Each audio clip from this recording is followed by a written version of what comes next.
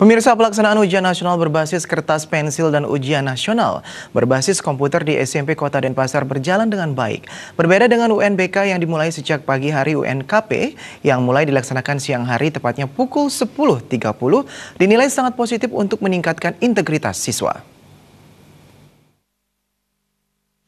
Beginilah suasana pelaksanaan ujian nasional berbasis kertas pensil di SMP PGRI 2 Denpasar. Sebanyak 580 siswa mengikuti UNKP yang dilaksanakan selama 4 hari, terhitung dari tanggal 23 April sampai 26 April 2018. Pelaksanaan UNKP di SMP PGRI 2 Denpasar sendiri berjalan dengan baik, termasuk dari segi pendistribusian soal.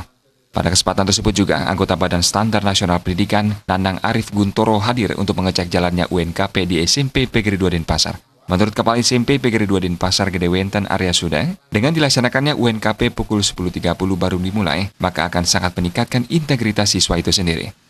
Uh, untuk meningkatkan integritas siswa sebetulnya pertama dari segi pelaksanaan kan tidak terlalu pagi jam 10 kemudian uh, naskah datangnya baru boleh diambil. Ini kan naskahnya kan disimpan di dinas pendidikan bukan di sekolah.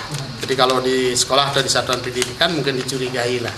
Jadi di, di dinas pendidikan kemudian dinas pendidikan mengeluarkan uh, mem membagikan kepada sekolah. Sekolah mengambil dalam limit waktu yang tidak terlalu lama. Disertai dengan berita acara.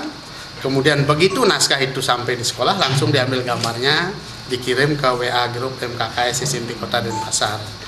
Sementara pelaksanaan ujian nasional berbasis komputer di SMP Negeri 7 Denpasar juga sudah berjalan dengan baik. Hal ini diakui oleh Kepala SMP Negeri 7 Denpasar, Titik Wahyani. Berbagai persiapan juga sudah dilakukan pihak sekolah dalam menghadapi UNBK tahun ini, salah satunya dengan memberikan pemantapan kepada siswa kelas 9. Pihaknya berharap agar UNBK ini dapat terus dilakukan karena sangat baik untuk melatih kejujuran siswa itu sendiri.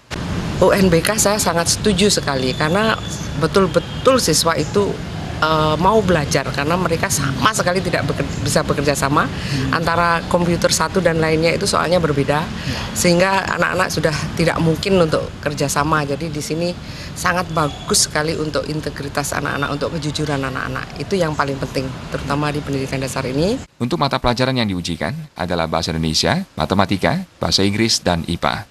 Adi Setiawan, Bali TV.